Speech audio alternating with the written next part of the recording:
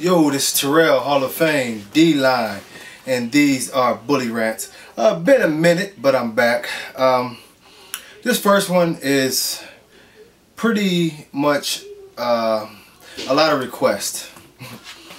and uh, in one of the previous rants, I talked about small balls.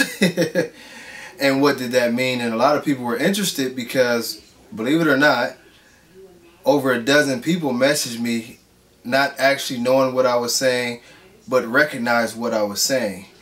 And uh, they correlated some things that were very, very interesting. Is typically in some of the more muscular dogs that we are seeing in the ring.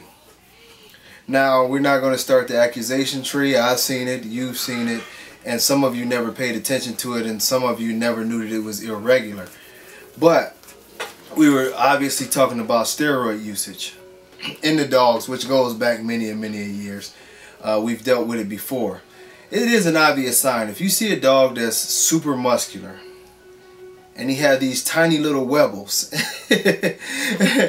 it, I mean, that's the way testosterone and steroid uh, treatments work is that what happens in the dog's body is that just like it would in a human is that the testosterone levels reach a certain level to where the body sensors cut off the production of the testosterone by that testosterone being cut off, therefore you get testicular shrinkage.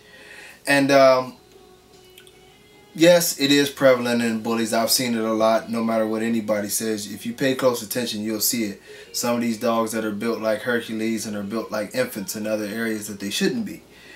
And um, one of the things that you have to be very, very aware of with a lot of these dogs, and if you attempt to do this to your own dog, is that if not done properly, and uh, you know, with most bodybuilders, it's called cycling. But if not done properly, you can cause permanent damage to your dog. So if you think you're just going to start injecting your dog with stuff, he's going to become a big stud and this, that, and the other. What you may find out is after you inject him or inject him with too much or for too long or whatever, is that his testicles stop working and he never produces semen again. The dog can go uh, sterile. I think the term is testicular atrophy to where the testicles never come back. So you have to be very aware of that. And as a um, some of you breeders, some of you people who buy puppies, the true advice that I would give you is if it's a stud that you like and you see that this condition is in your stud, it is a very, very big red flag if the dog has small testicles. And the reason why I'm saying that, I'm saying very small testicles, when those, when they are shriveled up like that, it's damn near impossible that this dog is actually producing the puppies that they say he produces. So when that happens, you should be questioning a lot of things and more than likely you've got another puppy off of another dog. But, uh, you know, if you have any other questions on it, I, that was just a brief overview of that uh, circumstance and what you're seeing in the ring. But, um, you know, that pretty much covers it all. But if you have any questions, feel free to hit me up. I'm always down to answer whatever question I can. Thank you. On to the next one. Peace.